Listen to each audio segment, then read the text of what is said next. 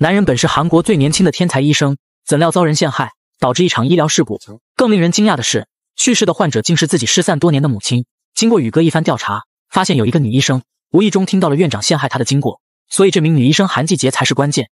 正好她现在被之前的医院开除，因为她毕业于一个垃圾学校，所以很难找到工作。于是宇哥借着职务之便，就安排了季杰到自己身边工作。季杰本以为是天赐良缘，其实是宇哥别有用心。当宇哥拿出一段录像时，这彻底击碎了季杰萌动的心，并没有答应宇哥出来作证。第二天，宇哥告诉他死的患者是自己的母亲，这才打动了季杰，并答应出庭作证。就在两人约定一起去法院时，发生了开头的一幕。季杰马上冲上前去急救，正当他万念俱灰时，宇哥像木偶一样，扑棱一下就站了起来。这让季杰以为自己急救成功了，正高兴的时候，突然，到底是怎么回事呢？原来宇哥和季节几千年前就是一对儿，没想到当时的季节被王上看中了，要内入后宫。绝望的季节将定情信物还给了宇哥，约定下辈子再续前缘，这让宇哥痛苦万分。于是二人决定在送亲的途中私奔。不料护卫队长早就看出端倪，事先设好埋伏，将宇哥万箭穿心。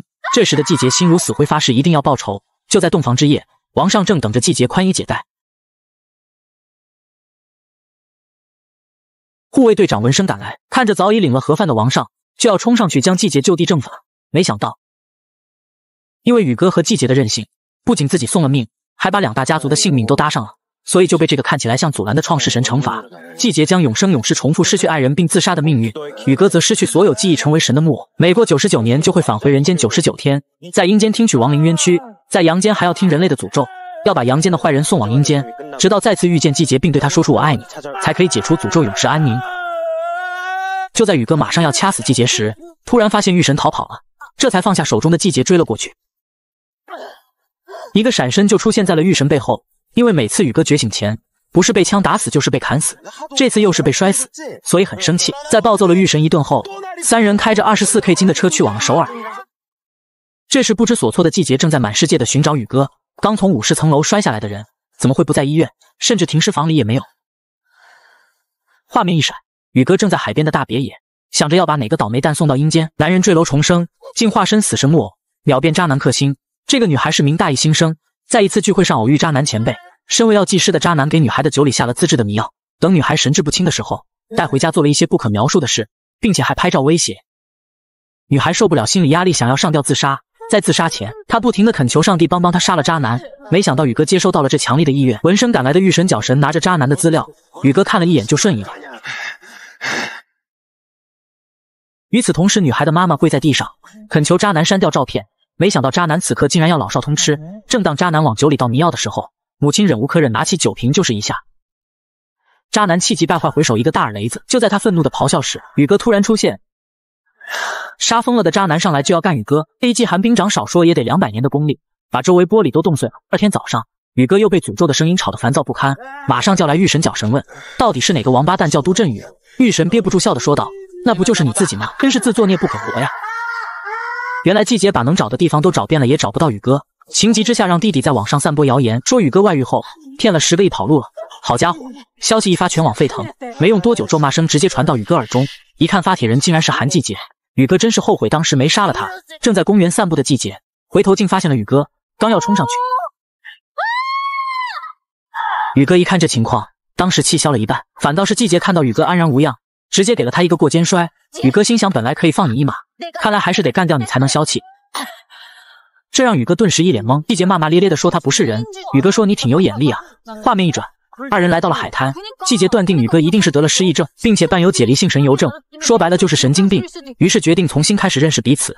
宇哥此时一种说不出的感觉涌上心头。到家的宇哥心情明显开朗了许多。他跟玉神角神说可能遇到了命运之人，可是玉神说因为季杰本来就没有罪，所以你才下不了手。当天晚上，季杰宛如卡车一般朝着宇哥袭来。宇哥感叹着，这个女人手段还真多。这时，季杰突然递过来一个冰棒，见宇哥吃的津津有味时，季杰说：“你已经接受我的贿赂了，就必须答应我做件事。因为除了季杰，没有人知道宇哥失忆的事，所以在审查会上需要宇哥来作证，证明自己是受了都振宇教授委托才去起诉理事长，并没有背叛，这样他才可以保住工作。”宇哥答应了季杰，并且说以后就不要再来烦我了。第二天，宇哥不仅做了证，还把季杰不让说自己失忆的事全盘托出。这下铁定季杰是要失业了，追上去问宇哥。如果你不想来，可以不来。但是没有必要把事情变得更糟糕。宇哥却说：“我就是看不惯你那份执念，一直忘不了杜振宇。我不是他，也没有理由帮你。”转身就走。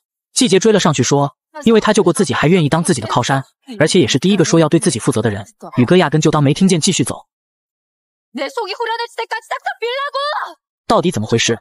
为什么身体会不听使唤？接着季杰又喊道：“虽然宇哥嘴上喊千万不能跪，千万不能跪，但是身体却很诚实。”察觉到异样的宇哥，马上拿下千年前的信物给季杰看。可是季杰并没有想起什么，反倒是觉得宇哥在发神经，转身就要走。就在宇哥拉住季杰的瞬间，唤醒了千年的记忆，想起了自己的爱人叫雪姬，也就是现在的季杰。宇哥拼了命的给他讲述信物的来历，可是季杰并没有丝毫对他的记忆，而且觉得宇哥就是在拿他找乐子。说着说着，宇哥脑中又闪过一段回忆，这让宇哥忍不住上前想要来个热吻。可是，这突如其来的尴尬真是无以言表。然后两个人又吵了起来，最后闹得不欢而散。晚上，宇哥独自站在江边伤感，另一边季节也面临着窘境，因为自己的夸张事迹，现在闹得连养老医院都不要他。这时，季节又想到了和宇哥相遇的那一天，紧接着告诉自己别做梦了，他只是拿你当个笑话。走投无路的季节在网上找着工作，竟然发现了一个特别符合自己的私家医院。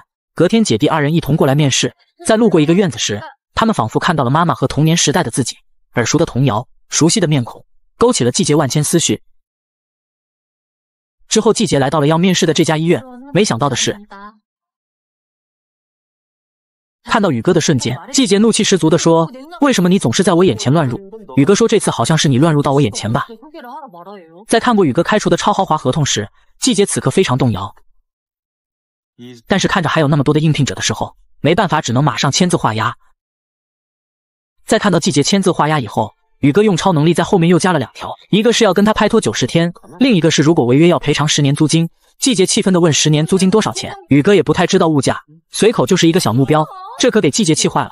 于是他找弟弟吐槽，弟弟拿起手机一算，十年一亿韩元，那不就一个月八十多万韩元吗？简直是天上掉馅饼啊！然后说：“姐姐这数学课都就饭吃了吧？”得知喜讯的季节转头就去贷款，可是既没工作又一屁股贷款的他，没有银行会借给他钱，一出门就遇见天降横财。结果没想到是宇哥搞的鬼，这可把季节气坏了。宇哥说：“只要跟我拍拖，区区一个亿。”小事情，这让本就生气的季节更加火冒三丈，心想你就是瞧不起我，看我笑话的，指着宇哥就说。结果宇哥真的粉身碎骨的躺在了地上。男人先是制造了一场车祸，看到养女被甩到车外没有死，竟然把她扔进了河中，只为了骗取高额保险金。第二天被季节弄得全身骨折的宇哥，又收到了新的诅咒。男人名叫崔光魔，大家都认定他就是杀人凶手。现在很多人在医院楼下抗议游行。警察也在对他审问，但是他坚称杨女士车祸甩到河里的，他脸上也是那时受的伤。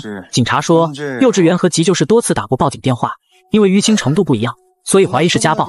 男人眼看百口莫辩，于是就说自己只是稍微教育了一下而已。难道教育孩子也不行吗？之后问起前两天他家里的火情，男人却说那是养女肚子，自己主动吸结果忘关火引起的。可警方经过调查发现有纵火的痕迹。接着男人说，那还废什么话？有证据就逮捕我呀！这给警察气得牙根都痒痒。就在这时，男人扔出五万块辛苦费，这可真是太侮辱人了。因为被季节折磨得够呛，所以宇哥的超能力此刻也有点失灵了。没办法瞬移，那就只能开车前往。此时，男人正悠闲地吃着苹果，喝着饮料，突然灯光闪烁，宇哥降临。男人误以为宇哥是记者，对宇哥不屑一顾。接着，宇哥说：“为了区区保险金，你就杀害一个正常的孩子，你还算是人吗？”看着宇哥的态度，男人有点怂了，拿起水果刀，对准宇哥的脖子就是了。结果。这让男人害怕的丢下了手里的水果刀，宇哥上去一把抓住男人，就给他送到了冰岛。但是今天的法力明显不足，在临死前，男人喊声惊动了外面的医生，现在又没法瞬移，这可把宇哥急坏了。就在女医生开门的一瞬间，宇哥使出了失传已久的凌波微步，走廊灯相继爆开，即使只有昏暗的亮光，也让女医生看出了那是自己的哥哥都振宇，成功化解了危机的宇哥上车时被安全带卡了一下。再想到玉神嘲笑他的嘴脸，于是决定今晚就要将这台二十四 K 金的跑车报废掉。一脚油门冲出了医院，还撞到了正好停在路边的便衣警车。在上演了一段《速度与激情》后，宇哥把车开到了一个死胡同。警察拿着枪上前查看，结果这时的宇哥已经瞬移消失了，只留下了一脸懵的警察呆在原地。画面一转，季姐走投无路之时，经人介绍来到一家放高利贷的酱菜厂。一进门就看见不再跑男好好待着的刘在石正在擦酱缸。文大师说借高利贷的事怎么还两个人来？这时季杰才发现宇哥不知何时出现在了身后，在谈拢条款后，季杰开心的手舞足蹈，借着心情好的劲，宇哥又开始了一顿表白。这时季杰说：“如果你真想和我拍拖，你得拿出证据证明你就是我的命运。”第二天，季杰和宇哥正在搬东西，一个老大爷以为自己见了鬼，吓得心脏病突发。季杰紧急处理时，发现他身上有好多淤青，之后将大爷送到了医院，没想到他竟然是文大师的老公。季节处于好心，让文大师给大爷测测血糖，结果文大师说：“如果你再这样多管闲事，就不借你钱了。”回到家里，宇哥说文大师其实是个家暴犯，所以大爷身上才会那么多淤青。于是二人决定隔天再去一探究竟。宇哥借着有大客户谈生意的理由引开了文大师，季节趁着这时候搜集证据，没想到用力过猛，药洒了一地，声音也将文大师引了过来。这时季节也摊了牌，直接问是不是故意给大爷吃错药，他才出现幻觉。文大师二话没说，准备打电话报警。就在这时，宇哥发动写轮眼。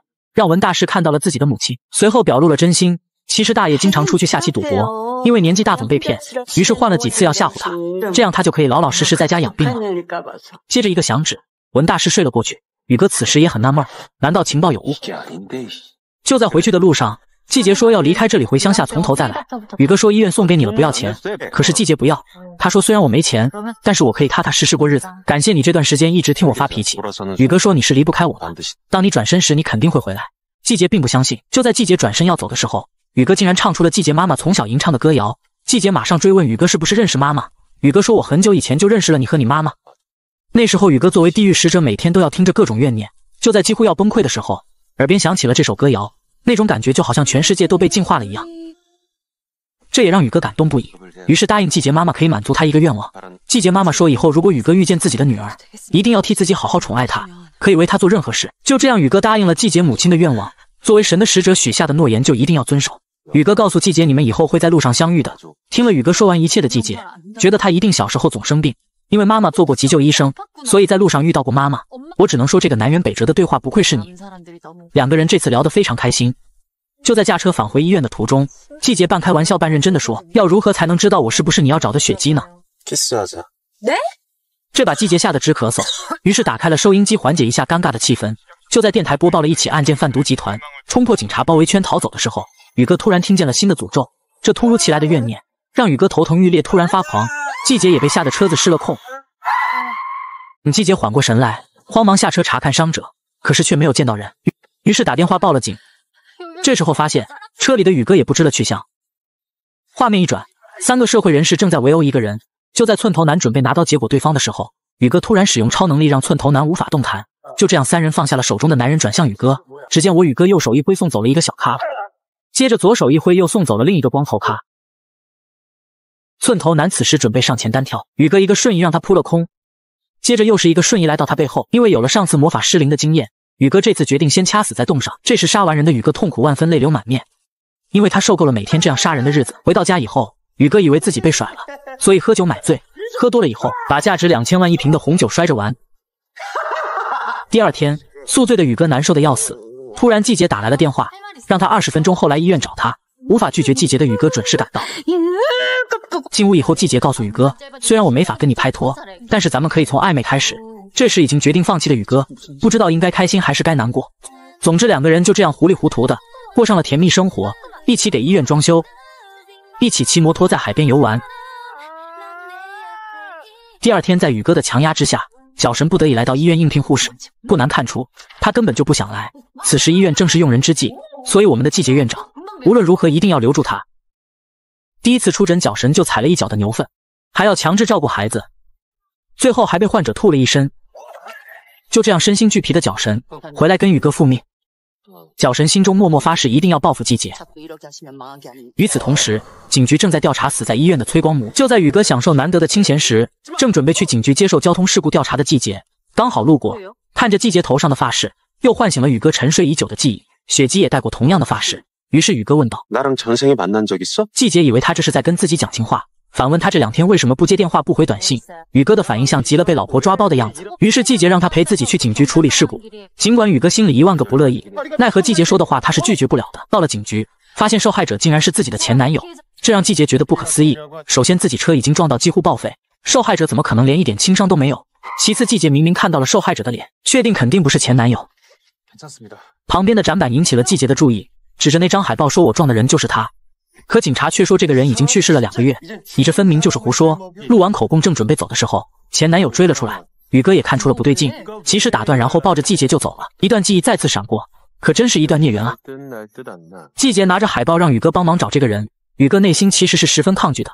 上一秒刚丢掉的海报，下一秒却又乖乖的捡起来。画面一转，曾经设计陷害杜正宇的理事长金碧珠正在办一场投资会。之后，一个男人告诉理事长，朴光信才是最大的绊脚石，觉得他一定是装死藏了起来。理事长拿起电话叫杀手一定要找到他，而这个朴光信正是季杰和宇哥要找的人。以我宇哥的能力，找人这种事儿简直轻而易举。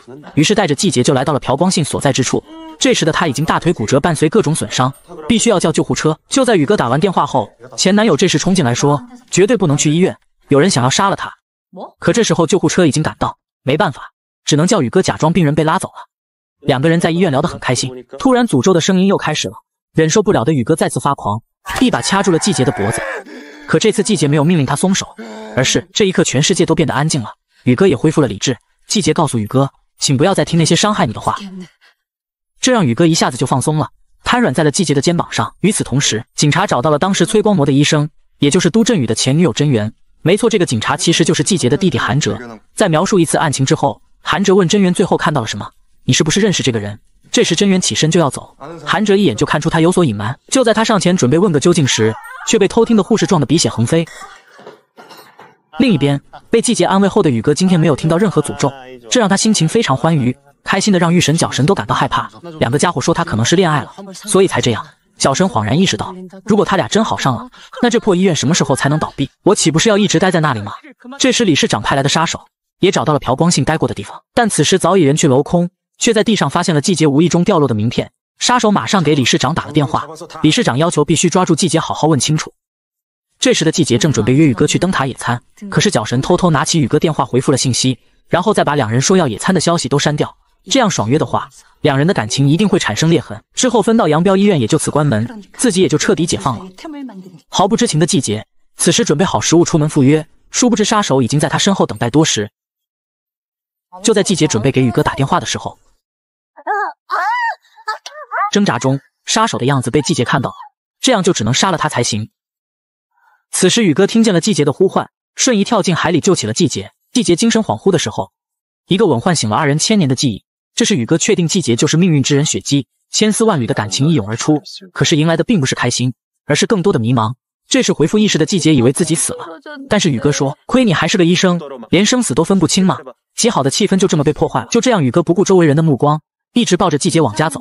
本以为自己的感情早被千年的业火烧干殆尽，可是当确定季节就是雪姬的时候，心脏却止不住的狂跳。到了医院，宇哥想要找凶手报仇。季节当时情急，没有记住凶手的样子，这可气坏了宇哥。然后说：“为什么你会一个人去灯塔？”季节一听这话，顿时翻脸：“要不是你约我野餐，鬼才会去吧。”当晚，宇哥回到家，还不知情的玉神、角神正在悠闲的聊天。突然，所有的刀叉都飞向了二人。宇哥非常生气的问：“到底是谁做的？不说的话，就把你们手脚砍下来当桌腿。”玉神挺身而出，替脚神抗下了一切，发挥他十级诡辩的能力，让宇哥觉得是自己的错。最后还告诉了玉神脚神，已经确定季节就是雪姬。这时玉神说：“那还等什么？赶紧求婚啊！甚至已经联系好了餐厅。”宇哥说：“我这么有魅力，要表白也得是他跟我表白才对。”玉神给宇哥上了一堂近代情感课，看着宇哥傲娇的脸，他又忍不住嘲讽了一波。结果，第二天警察来找季节了解情况，突然假扮成安装工的凶手出现了，可是季节并没有认出他来。哎呀，我说你可是心真大呀！要杀你的人都记不住，还能记住点什么？当天傍晚，宇哥开着红色法拉利准备接季杰下班，可到了医院，患者一个接一个，最后因为不耐烦，还被季杰赶来出去，然后坐在沙滩上委屈的像个孩子。之后他跟追出来的脚神抱怨起来，韩季杰简直是个灾害，都怪我把他当成血姬，所以才止不住的心跳。抱怨之后又屁颠屁颠的回去献媚，结果又吃了鳖。可是宇哥是谁啊？千年都不曾放弃的人，怎么会坐以待毙？一本正经的宇哥说出了一段感人肺腑的人生哲理，之后季节也被感动到乖乖就范。画面一转。宇哥此时大松一口气，这要是把我拒绝了，我这千年的老脸往哪搁？季节换上了赴宴的新衣服，宇哥也在高处等候多时，望着自己思念了千年的女人，亲手为她点亮每一个路灯。感觉不出意外的话，就要出意外了。音乐响起，宇哥已经准备好迎接女主的登场。突然真源出现上来就是一个拥抱，紧接着季节也到场，刚好撞见了这一幕。宇哥一脸瞧不上的样子看着真源，告诉他：“你再这么没礼貌，我就弄死你。”这让真源一脸惊愕，无奈之下，季节只能支开宇哥。真源自说自话是宇哥的女朋友，可是又拿不出任何在一起的证据。季节此时回想起了他们还是闺蜜的日子，那时候的季节正在跟前男友郑一灯闹别扭，真源则说不是你的错，你一定不要先低头或者主动联系他，然后自己却要以试探为借口去联系郑一登，结果傻傻的季节还以为真源是在帮他，结果却背地里和郑一登搞事情，真是防火防盗防闺蜜啊！第二天宇哥像每天一样到了医院，可是季节明显对他的态度有了变化。宇哥说是因为昨天那个女的吗？季节说因为你没有恢复记忆，所以我们要保持距离，很可能在你恢复记忆的时候，我们的关系就不会这样了。不管宇哥怎么解释，季节依然坚持自己的决定，最后气得宇哥夺门而出。回到家里，气不过的宇哥觉得季节现在就是飘了，以后坚决不能低头。好巧不巧，前男友竟然打来电话，原来是朴光信的伤情出了问题。季节说这样下去很危险，最好去医院。到底是什么原因让你这么害怕？没办法的前男友只好说，因为他拿着贪污案的证据，之前拿着证据的医生已经失踪了，所以看到这种情况他觉得害怕，就躲了起来。前男友想趁着这次机会和季节复合，但是季节想起了当时还是恋人的事情，喝多了的季节恳求他的原谅，可是他却狠狠地推开了季节的手。接着又坐在地上恳求他不要走，还说这劈腿也无所谓，我可以接受，能不能不要和我分手？想到当时这么没用的自己，季节觉得脸都要丢尽。第二天，不死心的前男友来到了镇上，恰巧听见大婶们正在聊季节的事，于是说季节已经有男朋友了。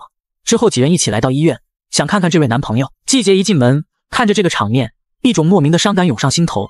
当着前男友的面，一定要证明自己已经不是从前的自己了，所以把宇哥夸上了天。可是没想到下一秒宇哥就自爆了，这让季节的脸一下碎了一地。晚上二人在灯塔喝着闷酒，宇哥觉得没有必要为了不相干的人伤心。可是季姐说，看着都振宇这么活着，自己很心疼，但是又怕变成木偶的宇哥伤心，为自己的贪念感到丢脸。他既想要都振宇找回原来的自己，又不想变成木偶的宇哥受伤逃跑。这时宇哥说，都振宇是不会回来的，他已经身陷黄泉了。但是季节还是叫他好好想想原来的自己，然后一个劲的夸赞都振宇，这把宇哥气坏了。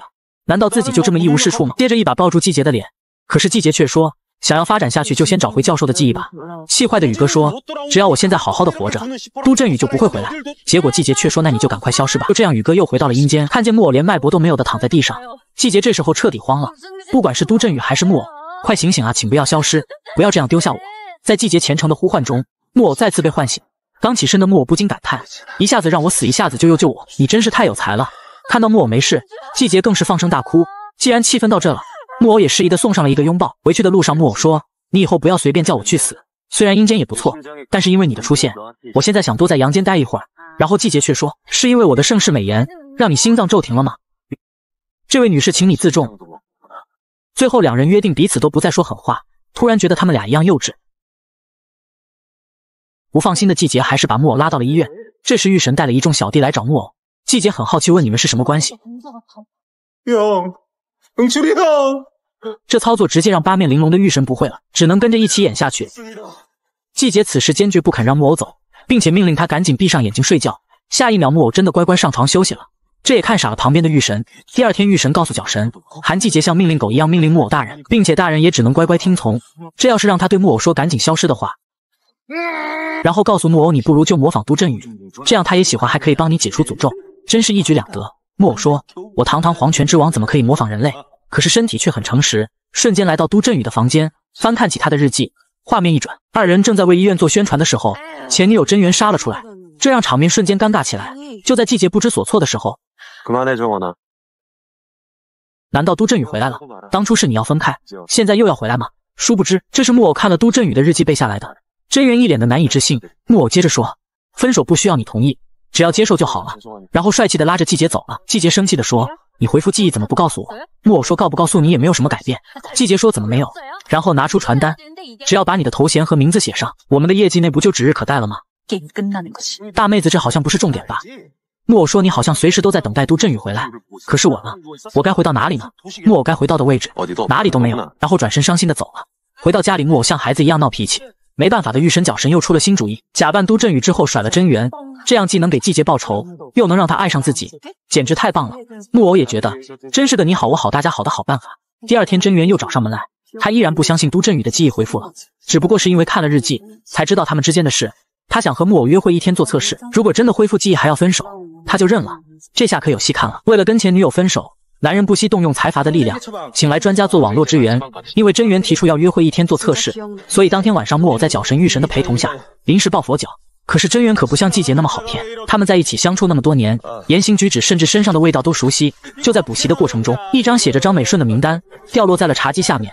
据我多年的经验，这一定是后面剧情的伏笔。与此同时，恢复差不多的朴光信，看见郑一登在查都振宇的资料，问：“你认识这个人吗？难道你说的那个失踪的医生就是他？都振宇现在在哪？”第二天博弈正式开启，真元试探着点了几样都振宇不吃的食物，木偶则对答如流，没有露出半点破绽。接着来到烤肉店，因为都振宇的童年阴影，所以他从不吃猪肉。真元说：“我上次看见你在这儿挺开心的呀。”木偶则说：“那是工作需要我强忍的。”突然，一个孕妇跌倒了，真元赶紧上前查看，然后叫木偶过来帮忙。这下糟了，医生可不是一天就能学会的。即将露出破绽的时候，突然木偶宛如神医附体，甚至马上诊断出了病症，顺便还给出了治疗方案。原来玉神早就安排远程技术支持。并且附近还有小弟跟拍直播。另一边，朴光信找到了医院，跟季杰说出了实情。都振宇手里有证据，之前就是被李市长的杀手推下楼的。我也是因为害怕，所以躲了起来。季杰让他先回家等消息，他马上就去找都振宇。这时候的木偶和真元把孕妇送到了急诊。真元说：“看来你是真的恢复了，还是要跟我分手吗？”木偶知道都振宇已经到了黄泉，不可能再复生，现在斩断情愫也是为了让他安息。最后，真元伤心欲绝的走了。就在木偶暗爽的时候，季节也赶到了。问木偶还记得普光信吗？木偶说这么重要的事不能当着孩子面说吧，借着肚子饿的理由就跑了。医院里突然出现一个醉汉，随手抓过医生就要打人，因为医生查出他媳妇被家暴，所以报了警。媳妇现在已经跑了，他就来到医院撒气，被保安拉出去没多久，男人又回来了，手里拿着两桶汽油倒在了地上。被送来的孕妇突然生命体征异常，需要马上手术，可是现在的医院已经乱作了一团，没有医生可以赶来，季姐只能亲自上手。就这样赶鸭子上架的二人来到了手术室，可是等了很久也不见有主任医师进来。这时广播响起，急诊室发生火灾，氧气瓶随时有连环爆炸的可能，请大家赶快撤离医院。眼看着孕妇危在旦夕，季杰发现木偶并没有恢复记忆，没有多说就走向了手术室。虽然没做过手术，但是当过无数次的助手，现在也顾不了那么多了。木偶让季杰先撤离，可是季杰无法面对患者的家人，难道要告诉他们患者要死了？我只能袖手旁观吗？这时候季杰开始不停的呼唤，让教授快点回来。伴随着季杰的呼唤，都振宇竟然从黄泉之路返回了人间。可醒来的他根本弄不清状况，转头看到手术室里有一名患者，可是不见医生，到底是怎么回事？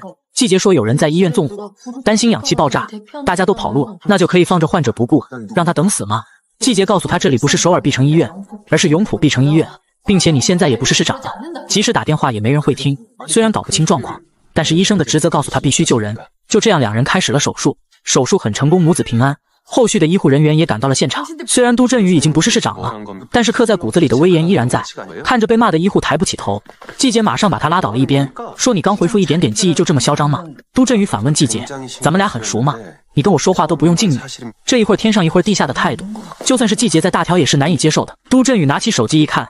竟然少了四十二天的记忆，难道自己一直躺在医院吗？此刻被打回黄泉的木偶正在跟玉神角神闹脾气，都怪你们让我假扮都振宇，这下可好，他真的回去了。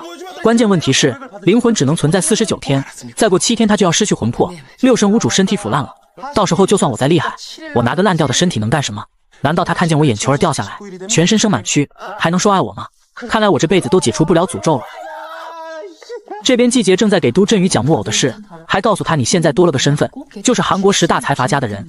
感觉都振宇差点就要说你是不是脑袋有点大病，然后拿起手机就给前女友打去了电话。季姐好心提醒他真源现在可能心情不好，结果都振宇却说他多管闲事，该不该打电话用不着你来说。这可把季姐惹急了，没想到竟然都振宇是这种人。第二天，角神在医院摆了一块魔镜，它的作用跟监控差不多。这时都振宇出现。问角神是不是在哪见过？角神不加掩饰的说：“我们见过几百年了，但是这么会搭讪的都振宇倒是头一个。”这让另一边的木偶也感到了异常。都振宇最后还是给真源打了电话，他说自己好像到了异世界，没有人可以沟通，求真源帮帮他。真源此刻也被搞得糊里糊涂。前一天刚甩了我，第二天找我帮忙，难道真的疯了？找上门的都振宇正好遇见正在办案的韩哲，以杀人嫌疑犯的名义逮捕。被带到警局的都振宇什么也想不起来，但是却想起了在黄泉路上的记忆。就在母子即将相认的时候，随着季节的呼喊声，母亲也消失了，这让都振宇非常混乱。突然，他想起了季节说的话，就这样，他动用了财阀的力量，算是把这件事解决了。韩哲气不过的问他，到底和财阀是什么关系？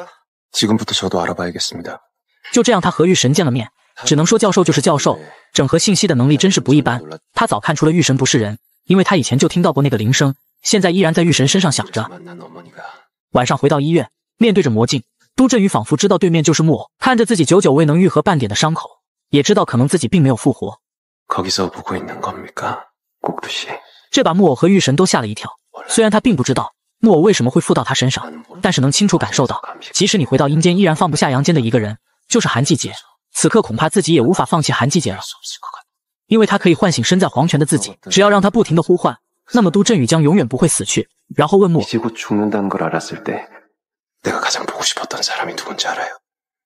我谁也不想，只想自己活下去。我真是太想活下去了。听着都振宇要把季节当成符咒一样留在身边，木偶瞬间火冒三丈，破口大骂。最后都振宇还说会让季节只看着他自己，永远也不会想起木偶。第二天晚上，朴光信突然找上门，一脸愕然的都振宇问他怎么来了。朴光信说名单在哪？你不记得你被金碧珠找人杀害了吗？都振宇直接说是自己服药过量所致，与金碧珠没有关系。这宛如晴天霹雳的消息，让朴光信无法接受。自己这么多天的辛苦到底为了什么？之后他向都振宇索要名单，可是都振宇却说对与错已经不重要了，活下去才是最重要的。他们的这些对话早已被监控另一端的杀手听到。隔天就收到朴光信没回家的消息，这让季姐感到不安，想要让都振宇帮忙找人，还说木偶之前俩小时就找到了。可是都振宇并没有答应。此刻魔镜对面的三人左右萌生一计，只要给季节戴上智能手表，并且把求助信号换成木偶快回来。再制造一个危险的局面，情急之下，他一定会喊出木偶快回来，这样说不定就真的能回来了。说干就干，角神没用几句话就把手表推销给了季节。玉神也安排好了小弟演一场戏，怎料到真正的凶手却潜进了医院。刚开始木偶还以为是玉神安排的演员，之后越看越不对劲。这时季节正在赶回医院，季节刚一进门，竟然发现屋里有贼。木偶怕是上次的杀手，在对面急得直瞪眼。就在两人扭打的时候，都振宇及时赶到化解了危机，这让木偶既高兴又生气。仔细一看，竟然发现邻居跑来偷体检表，他怕被老板知道自己有糖尿病，把他解雇。如果失去这份工作，他就走投无路了。处理完这件事后，季姐请都振宇喝咖啡表示感谢，可是都振宇却一反常态的关心起了季姐。其实季节早就发现他在跟踪自己，但是不明白为什么这样做。都振宇说自己是木偶的时候，不是一直喜欢你吗？我想知道喜欢你什么，有多喜欢你。木偶可能是自己的一个多重人格。既然他那么执着于你，那一定有其中的道理，并恳求季节消灭身体里的木偶人格，让他可以作为都振宇活下去。到家之后，季节望着掰开的冰棍，如果木偶在的话，一定会抢走大的一边，并且说着奇怪的冷笑话。偏偏这种无聊的温暖，正是季节无法割舍的思念。破过去，破。看见角神搬走了魔镜，都振宇很好奇。角神告诉他已经不需要了，因为明天就是你的头七，不管你想不想，你都会真正的死去。神给你一天的时间，你想干什么都行。另一边，杀手正在跟金碧珠汇报工作。他已经将朴光信拷问之后弄死了。只要再干掉都振宇，那么名单的事就不会再有人知道了。他在都振宇的车上做了手脚，想要伪装成是一场事故。可是杀手并不知道，就算不这么做，都振宇今天也是必死无疑。果然，六神无主的都振宇一头扎向了方向盘。急救人员到场，确定已经没有了脉搏。凶手刚要露出满意的笑容，下一秒天空飘起雪花，手上的伤口瞬间痊愈。这把急救人员吓得够呛，接着一把掐住了男人的脖子。这操作把杀手看呆住了，回去告诉金碧珠，都振宇不是人。金碧珠说：“你可能太累了，给你放个假。”接着拿出了视频，难道他是僵尸可以死而复生不成？杀手说：“我就是告诉你，不要把他当做人，你自己小心点罢了。”画面一转，好不容易回来的木偶忍不住上来就是一个大大的拥抱，季节顿时感到不对劲。这时的木偶担心季节再次把他送走，所以装傻说自己是都振宇。可是季节却感受到了满身的破绽，怕被发现的木偶瞬移逃走了。隔天，季节拿出了冰棍做实验。果然，他拿了大的一边。木偶此时还想否认，可是季节已经去急救处确认过了，心跳停止，醒过来的一定是木偶。这么说来，好像每次都是自己把木偶送走的。季节突然想起了消失的朴光信，想拜托木偶找一下。木偶当然不同意了，可是季节却嘲讽他不如魔法棒。顿时，木偶来了脾气，一个瞬移就找到了朴光信。他死在了车里，旁边还放着遗书，这明显就是有人设计的。回到家里，木偶梳理着案情，推断出幕后黑手就是金碧珠，并且猜到诊所一定被监视了。一个响指，灯光全亮，顿时让杀手毛骨悚然。接着，所有监控飞到了手中，走到另一个监控面前，木偶凭空出现在了金碧珠的办公室，这可把他吓坏了。接着，木偶来了一记寒冰神掌，吓得金碧珠马上说：“我这有监控。”一个马步上前抓住了金碧珠的脖子，眼看寒气就要渗透到了他全身的时候，季节突然杀了出来，阻止了木偶。金碧珠得意地说：“你扳不倒我的，我在你头顶上，竟敢嘲弄神明！”这可把木偶气坏了。望着此时的金碧珠，木偶好像回想起了什么。回去的路上，两人又吵了起来。季节坚持要回碧城医院，木偶说：“我保护了你千年万年，怎么你总是要自寻死路呢？”木偶因为季节阻止了自己，正在闹情绪，可是突如其来的表白让木偶不知所措，只能直接吻上去堵住他的嘴。可不知为何，季节晕了过去。就这样到了天亮，伴随着木偶的爱抚，季节终于忍不住笑醒了。两人尴尬对视了半天。弟弟韩哲突然回来了，见大门紧锁，就问姐姐是不是藏了男人。没办法，只能先把木偶塞到被子下面。木偶消失后，并没有闲着，一个电话打到了金碧珠那。虽然金碧珠有些错愕，但是并没有惊慌，反倒讽刺木偶被一个女人左右，还胆敢自称是神。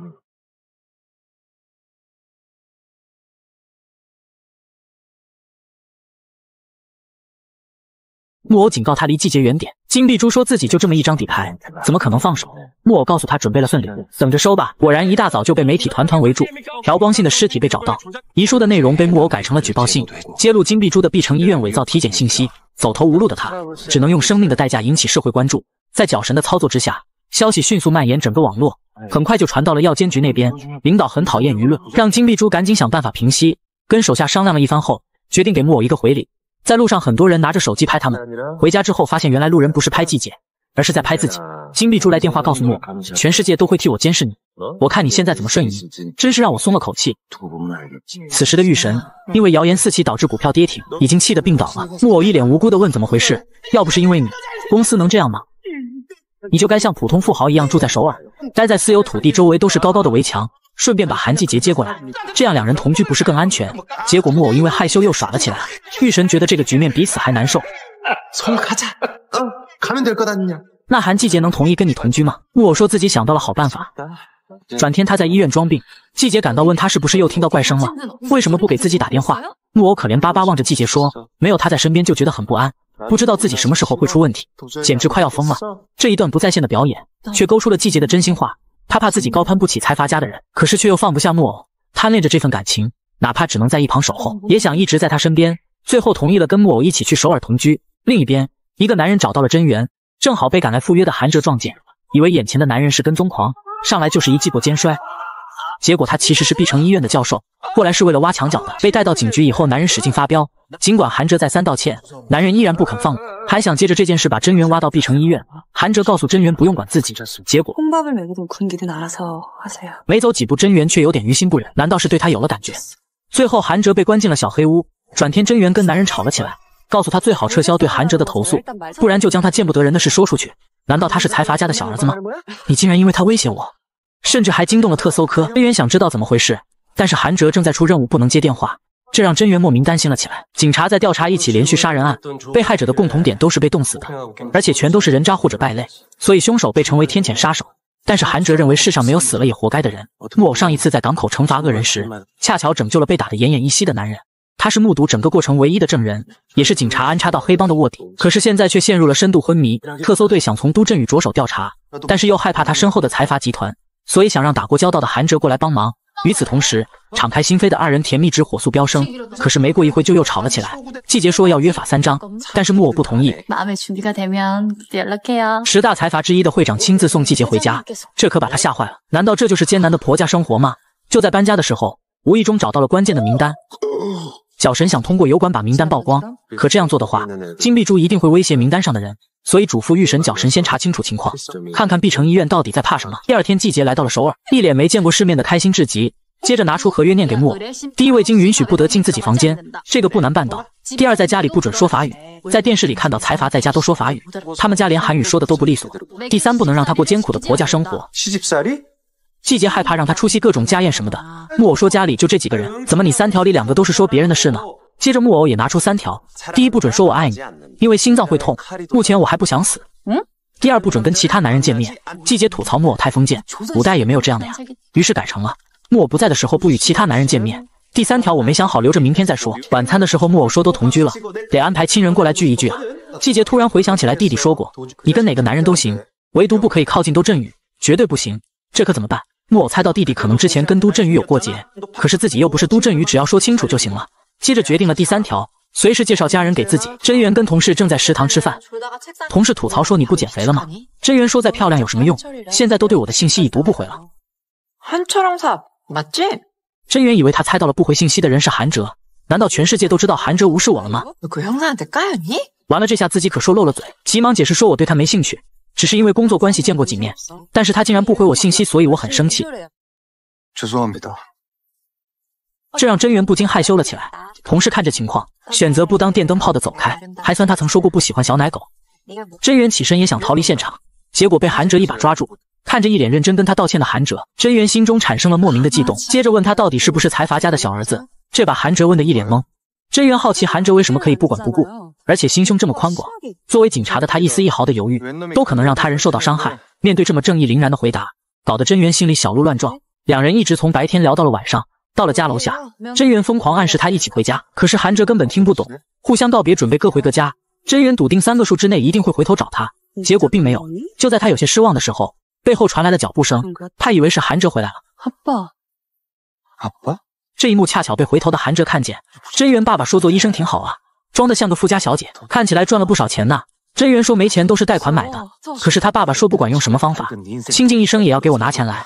以前真源不忍妈妈受欺负，亲手将他爸爸送进了监狱。真没想到人前处处争强好胜的真源也有这么悲惨的往事，自己拼了命的努力，只是怕人看不起他是个罪犯的女儿。看到了一切的韩哲拒绝了特搜科的邀请，选择留在真源身边，想要默默守护她。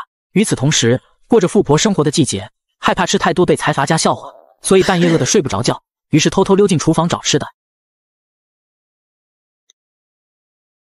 就这样，两个人一起吃了泡面，真是没想到，财阀大佬也爱吃泡面。季节不知道该怎么调节木偶和弟弟的关系。玉神说，有些事越想隐藏就越会穿帮，到时候更加难以收场，所以季节决定安排他们俩见一面。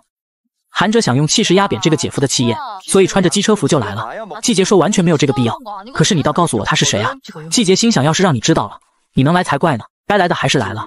各种火药味的对话让木偶一忍再忍，可是不管木偶怎么解释，季节还是被韩哲拉回了家。到家之后，小两口偷摸打电话，弟弟则在门外一直闹着。木偶这次出奇的懂事。玉神这时候查清楚了名单的情况，上面的人全都死于非命，这太奇怪了。那么剩下最后一个患者家属，就是张美顺的儿子都振宇了。第二天，木偶拿着起诉状，在所有媒体面前痛诉金碧珠，也公开承认自己失忆的问题，宁愿放弃所有财阀家的财富，也要让正义留在这个世上。这时，昏迷的卧底突然醒来。正当木偶和警察做着笔录的时候，韩哲带着姐姐推着证人来到了审讯室。眼看季节推着证人就要指认了，最后一刻他还是阻止了证人。韩哲始终认为木偶一定会瞬移，或者有什么秘密武器，所以才有不在场的证明。可这是季节压根就不相信。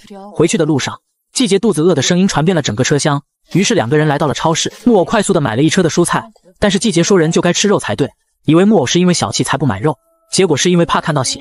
季节心里暗暗窃喜，连肉都不敢看，更别说是杀人魔了。可是木偶却犯起了愁，再有二十七天就要到最后期限。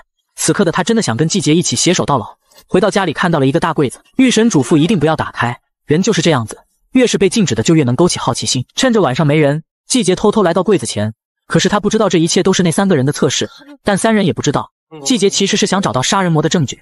与此同时，警局也出了大新闻，不知道哪个医生把卧底的消息公布了。搞得所有记者都来堵门。第二天，警察召开发布会，宣布杀人魔真实身份其实是黑熊派的二当家。原来木偶早就用超能力改写了目击者的记忆。警察也表示歉意，并归还了被扣押的车。回去的时候，季杰心里有愧，不小心说走了嘴，让木偶发现他竟然不相信自己。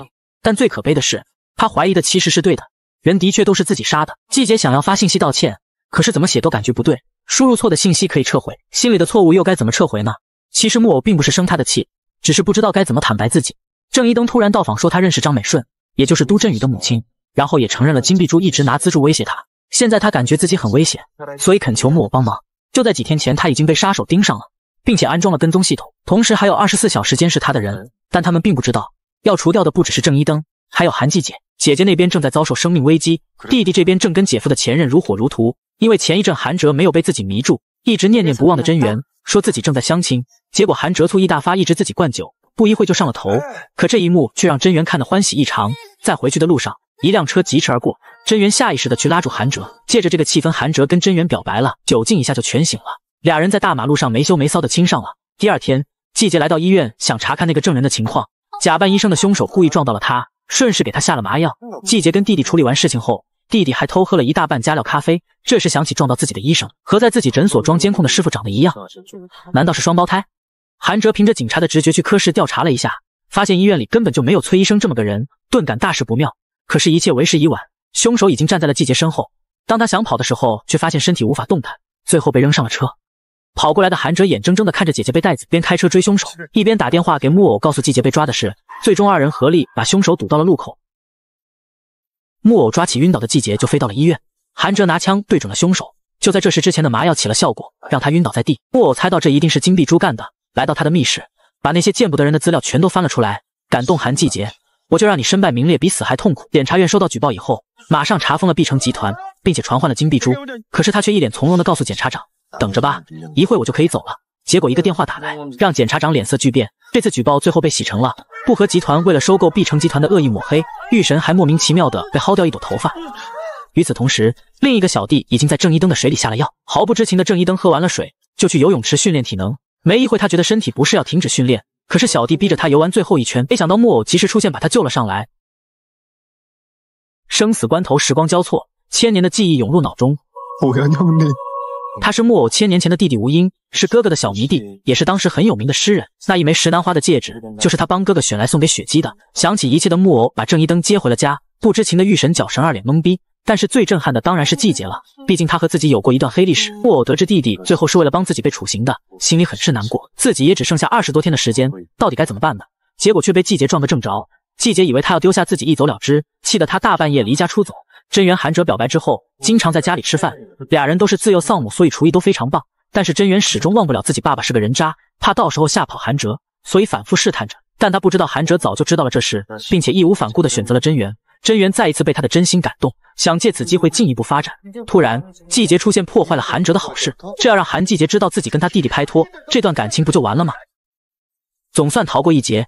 第二天，在木偶的百般努力下，季节终于原谅了他，并收下了一个极其夸张的求婚戒指。没想到晚上弟弟就被绑架了。按照劫匪的要求，俩人赶到了一个废弃工厂，拨通了弟弟的电话，结果声音却来自一个冰箱。看着木偶脸上的伤口瞬间复原，季节联想起了一切，问着你到底是谁？木偶坦白自己是死亡的象征，是创世神手里的一把裁决之刃。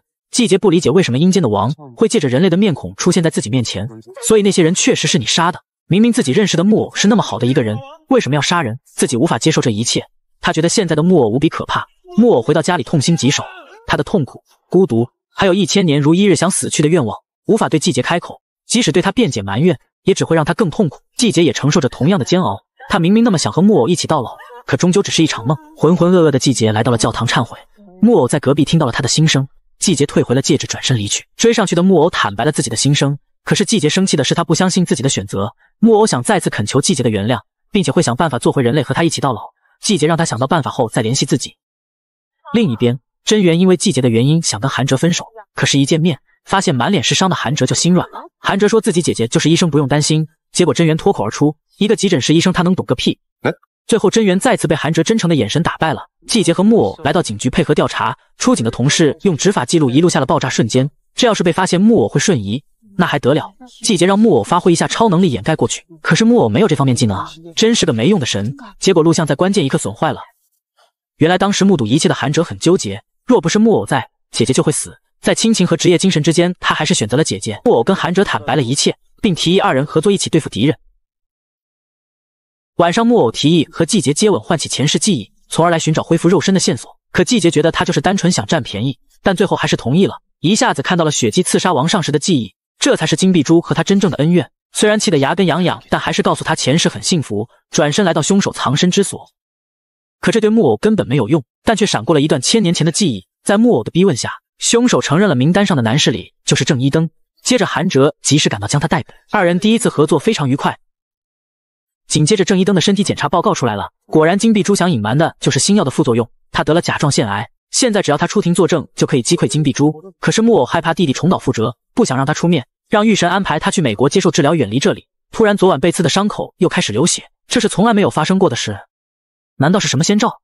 季节来到警局指认凶手，结果对视那一刻，伴随着剧烈的头痛，许多画面涌入脑中。戒指里的宝石突然裂开，他找到了卖戒指的店，想要修理。结果这个老婆婆就是季节第一集里救的那位。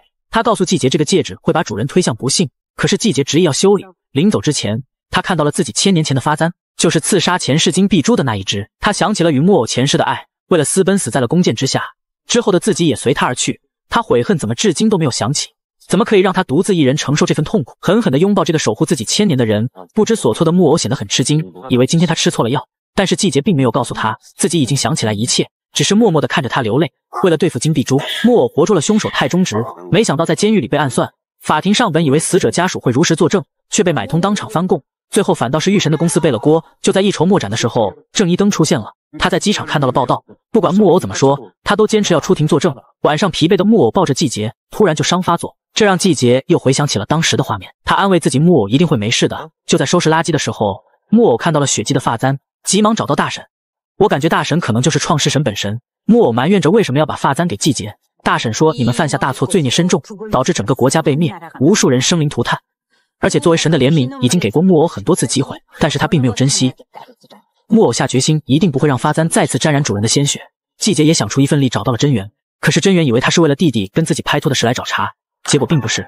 季节只是想让他帮忙找到之前帮金碧珠做事的女医生。”真源借机管季节要了一个免责承诺，就是不管给他做了什么事都要原谅他。韩哲想告诉季节自己拍拖的事，结果正好真源来电话说事情办妥了。韩哲一脸傻笑的看着季节，以为他跟真源关系很好，结果季节却说：“你忘了他把你打的直流鼻血吗？”这下更没法对姐姐说了。第二天，木偶带着郑一灯再次来到法院，没想到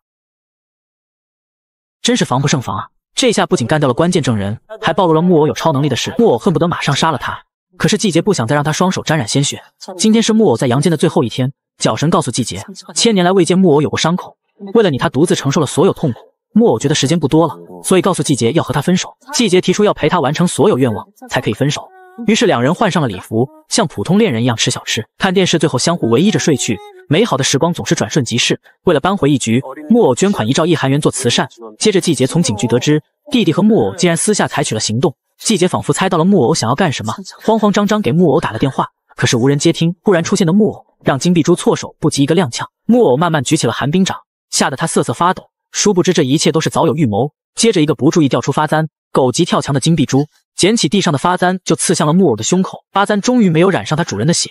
金碧珠大笑着自己竟然杀了神，与此同时他也成了杀人犯。季节匆忙赶到，却发现木偶已经倒在了血泊中。黄泉路上的木偶听见了季节的哭诉，正当他要转身继续上路的时候，季节大喊着吴炫大人。时光再次交错，就如千年前自己被杀的场景一样。雪姬也是哭喊着吴炫的名字。失了神的季节捡起地上的发簪，恶狠狠地走向金碧珠。金碧珠愕然瞪大双眼，问他到底是谁。说罢就举起发簪要刺向金碧珠。黄泉路上的木偶及时阻止了季节。金碧珠刚想趁机逃走，提前约好的韩哲正好赶到，木偶被送医抢救。他反复梦到与雪姬离别的那天，韩哲跑过来夸赞姐夫这个 B 计划简直绝了。最后在季节的强力逼问下，韩哲只能如实交代，他早就知道木偶时间要到了。决定顺便解决金碧珠，自己又一次被这个男人保护了。转天，金碧珠以谋杀未遂被起诉，木偶也违背了神的旨意，没有按时返回阴间。回到家以后，木偶明显脸色不佳。季节的声音此时已经无法阻止诅咒的声音了，不绝于耳的哀嚎围绕在他耳边，诅咒的怨念又开始了对他的摧残。今天，韩哲下决心要跟季节说清楚真源的事。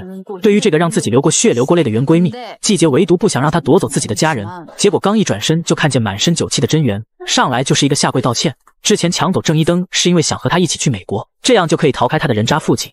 结果因为季节说了韩哲几句，俩人又厮打了起来。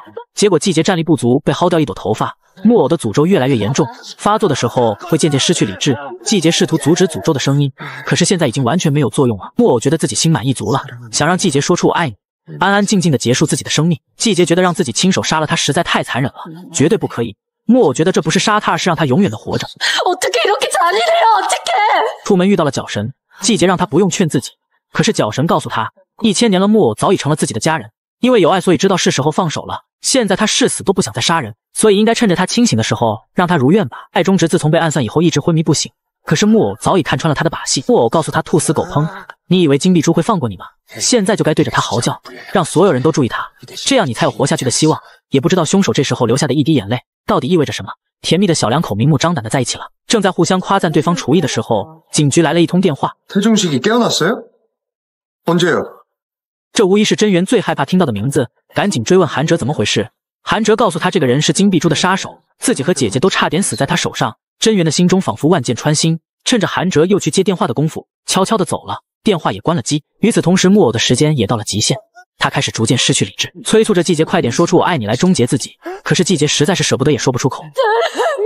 木偶终于恢复了神智，那阔别已久的泪水也止不住的流了下来。就在这声声爱你的话语中，木偶千年的旅程终于到达了终点，深深的吻过最爱的人，消失在了光里。季节就这样哭到了晚上。失去家人的痛苦是无法用言语表达的。随后的日子里，季节变得疯疯癫癫，不停写着木偶的名字，之后又再次撕掉，日日夜夜不吃不喝也不睡觉。突然，一个小男孩来找季节，他捧着一盆郁金香，说有个帅气的哥哥让我给你送花。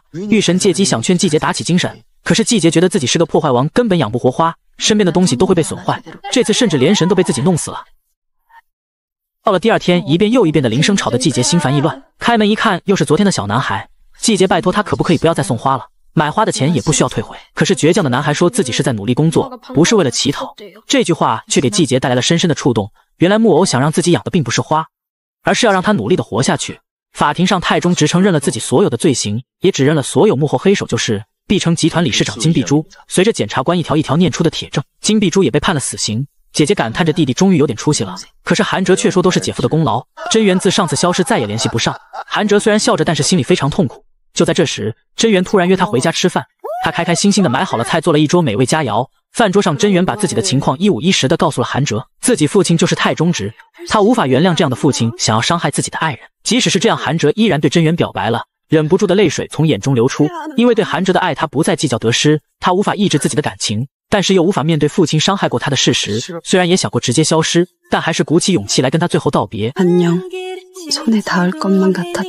季节决定振作起来。果然还是想开家医院，这次要开个大的。他告诉花店的人们，家庭困难需要手术的病人会提供免费治疗，但有个条件，那就是需要虔诚的向木偶祈祷。回到家，季节把郁金香都种了起来。一转眼五年飞逝，小男孩已经变成小伙子了，郁金香也种满了花园。此时的季节已经事业有成，角神想让他试着找个男朋友，可他说神的契约是违背不了的。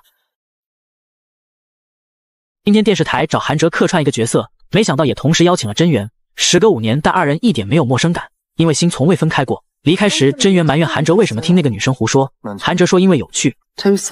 因为真源嫉妒的样子很有趣。真源每天都会去家楼下的小菜店买他爱吃的蛋卷。老板娘不小心说漏了嘴，告诉他没进货。真元再次追问，他又说是自己做的，但又不知道里面加了什么材料。冲到了韩哲家里，问他你疯了吗？整整五年你都在做蛋卷送到小菜店。怎么会有这么傻的男人？如果自己错过了，可能就不会再遇到第二个了。于是二人就结婚了。在婚礼当天，季节和真元说，彼此之间真的经历了好多事，但是最终竟然变成了一家人，真的太神奇了。郑一登治好了病，现在也成了一个大明星，但他并不知道木偶已经消失的事。在亲朋好友的见证下，二位新人交换了戒指，感人的瞬间总是能让人热泪盈眶。伴随着家人朋友的祝福，二人踏上了新婚蜜月之旅。季节一个人坐在教堂里发呆，回忆着和木偶之间的告白。突然一阵风把蜡烛吹灭，教堂的大门打开，一个人影出现在了光里。季节以为他是在做梦。害怕又是一场噩梦。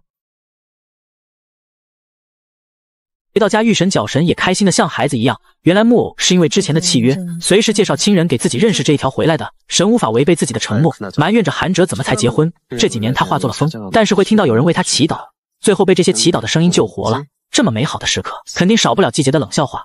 他怕木偶像人鱼公主那样，第二天变成泡沫消失了。木偶告诉他说自己是玩具，也就忍了；说自己是海鲜，就过分了吧。蜜月回来的二人前来拜礼，也不知道前男友如今变成了姐夫，是种什么心情。早上醒来，季节发现木偶不在身边，慌张下楼找他。